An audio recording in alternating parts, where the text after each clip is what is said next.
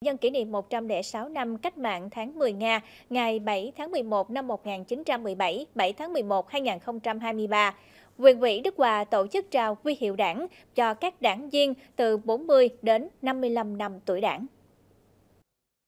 Theo đó, có 27 đảng viên từ 40 đến 55 năm tuổi đảng được trao huy hiệu đảng trong đợt này, trong đó hai đảng viên nhận huy hiệu 55 năm tuổi đảng, 7 đảng viên nhận huy hiệu 50 năm tuổi đảng, hai đảng viên nhận huy hiệu 45 năm tuổi đảng và 16 đảng viên nhận huy hiệu 40 năm tuổi đảng. Trong đợt này, đảng quỹ cơ sở cũng tiến hành trao huy hiệu 30 năm tuổi đảng cho 5 đảng viên tại cấp ủy cơ sở.